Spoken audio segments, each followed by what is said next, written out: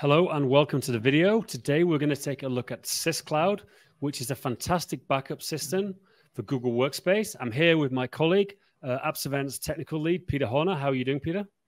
Hi, Dan. Yeah, I'm really good. Thank you. How are you?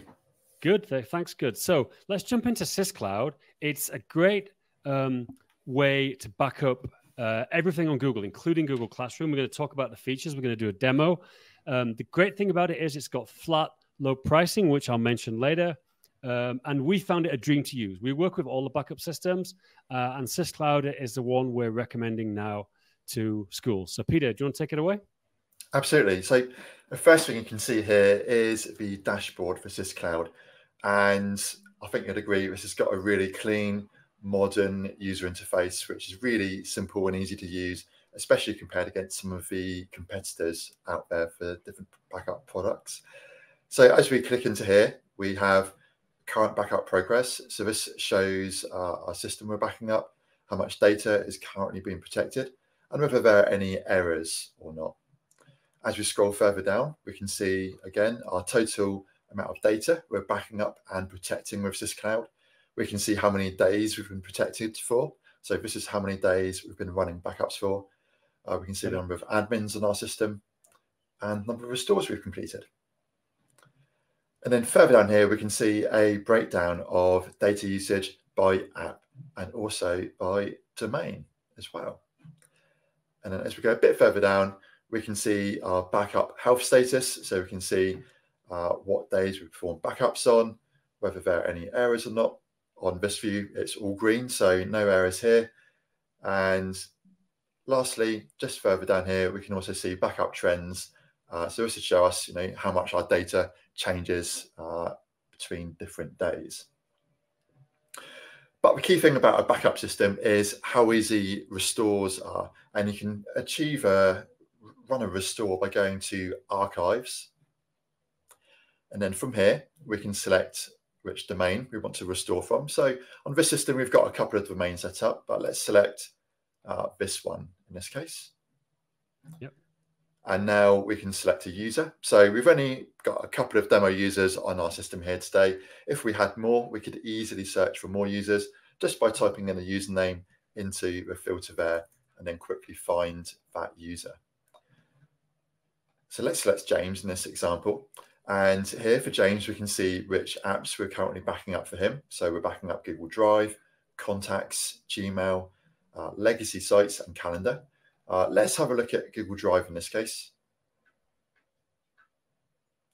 So we can see James's Google Drive here. If I expand this, it will show the folder structure. So you can just browse it just as if you were in Google Drive. You can search for files and folders up here. Uh, you can filter on items. And you can also, of course, change which day you want to look at. So you can go further back in time if you need to go back and restore an item uh, that may have been deleted, or maybe this user's been deleted. And when it comes to achieving a restore, all you need to do is let's just select a single item in this case. From here, we can select restore. We can select which account we want to restore to. Uh, we can also select to restore all of the sharing permissions. So when that file comes back, it will still be shared with everyone who previously had access. That's really that's a really big thing, isn't it? Because obviously you can just back up and restore everything, but if you have to then do a whole bunch of work afterwards, it, it just it, it, it makes it a lot more effort. Absolutely, yeah, it's a huge time saver uh, in doing that. And the other thing you can do here is restore it to a new folder to make it super easy for that user to then find it, and then simply press restore. Now the other option we have here is we can also export a file from here. So if we select a file again and then select export, this just gives us a really quick download of that file. So we don't have to restore it back to the user's area. We can restore it for that user, check it's restored properly, and then reshare it to them. Great. So that's how Google Drive looks. Let's go back to our archive now and take a look at Gmail. So again, in Gmail, we can select uh, the app here and then this will show us a view of that user's inbox. As you can see here on the left-hand side, we've got all the labels that we're using for categorizing uh, their emails, and we can see their emails here as well.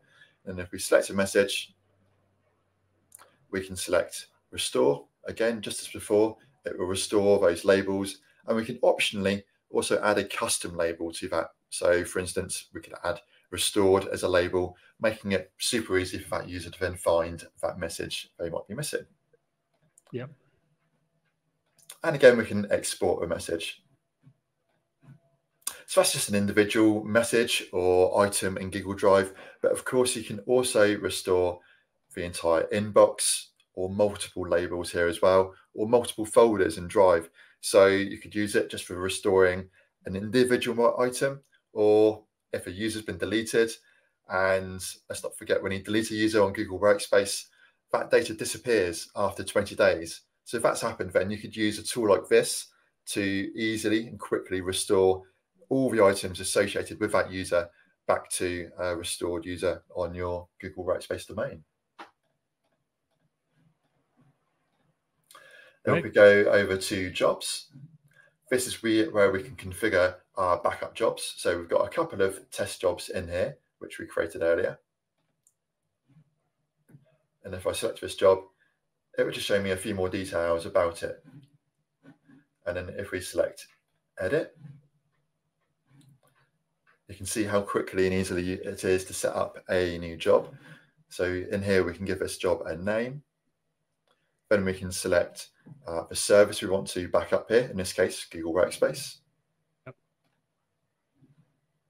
And then we can define the scope of the backup.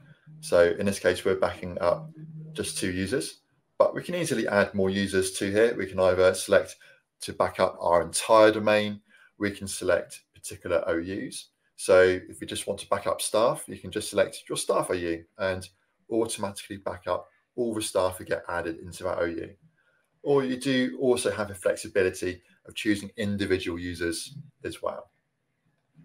And once you're finished, just press start back up and then that data will start being protected as well. Fantastic. And then lastly, let's have a quick look at reports. So reports will give us uh, more insights and analytics in terms of what backups and restores are being performed. So it gives you reassurance that you know backups are happening every day, and you can also monitor restores in here as well. So that's the major features, but it's one feature we've not discussed yet, which I think is fairly unique in SysCloud, and that is it can also back up Google Classroom. So we don't have it on our demo today, but with the Google Classroom backup, uh, rather than just backing up with files and items in Google Drive, SysCloud can also back up the assignments, posts, and materials which are assigned through Google Classroom. So if a classroom ever does get deleted uh, by a user, or maybe even just an individual assignment has been deleted, and a teacher has no way of getting that back, you can use SysCloud to then restore that data back to that user. And you can search based on the owner of a class, uh, a co-teacher or students in a class and find that class on your domain and then restore those items. I think that's fairly unique in all of the backup products I've looked at anyway. It is. So Peter, thank you very much for that, that demo. Um, just quickly the pricing. So uh, the pricing is very, very simple, which which is really welcome. It's twelve dollars per staff member per year. You can convert that to pounds. It's roughly nine pounds or uh, 10 euros 50 per, per staff member per year. We can bill in all currencies uh, and fix the price in your currency. Students are free, so you just pay for the staff members. And it includes 75 gigabytes of storage per user per staff member. So this gets put into the pool. So one user can have less, the other can have more. And the Google Classroom feature is an additional $5 per staff member per year. That's that's optional. And like Peter said, um, it, it really is, is good for just restoring a classroom with the same feed and looking exactly the same as it was, but it's not essential. Um, get in touch if you're interested to look at SysCloud. Apps Events can set up a free trial. Uh, we're a trusted partner for schools in the UK, the US, and international schools. So thank you very much, Peter, uh, for a great demonstration. My pleasure. Good to see you, Dan.